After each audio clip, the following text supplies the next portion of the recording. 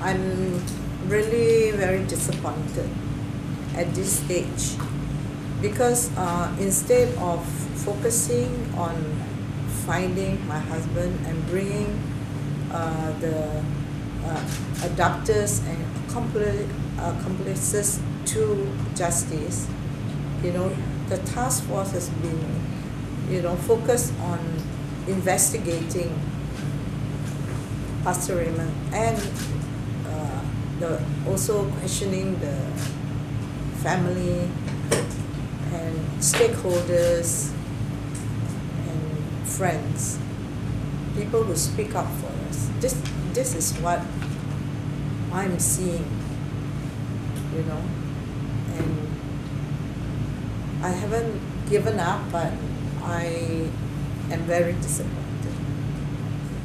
Since March 23rd, our last meeting with the police, uh, I have been calling them to for updates on their uh, on them finding my father. Um, but whenever I ask them for update, they will tell me that tiada perkembangan baru, and that has been consistent until today. A family member was compelled to make another police report, this time not about a missing person, because on the 13th February, all they knew is their beloved father and husband was missing. They had no idea that he was abducted with such violence. As it appeared that it was so, one member family made a report under the Penal Code, Section 364, which titles Kidnapping or Abducting in Order to Murder. This is a capital offense, as was stated by Susanna. Whoever kidnaps or abducts any person in order that such person may be murdered or may be so disposed of, disappeared. The word would be used in enforced disappearance.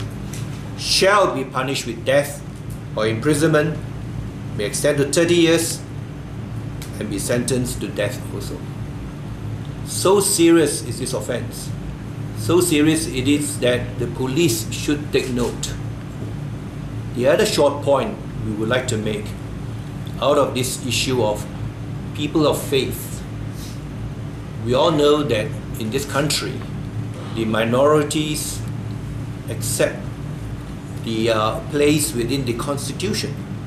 And in our federal constitution, it is clearly articulated that every person has a right to profess and practice his religion. And of course, subjected to a limitation within the Article 11, subclause 4. But that subjection is that state law, this is what we are saying.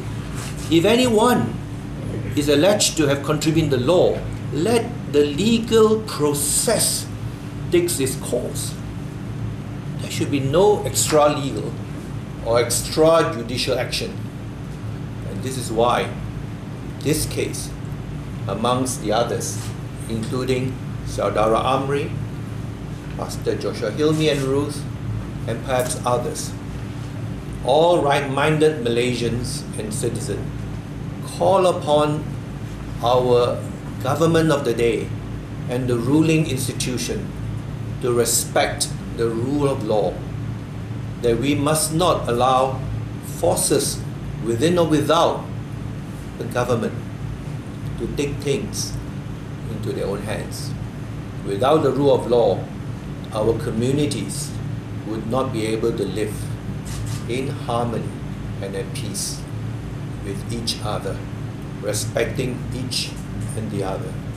This is the cry and call of Susanna and the family, and on behalf of the others who has been also disappeared, that our government must cleave to the rule of law.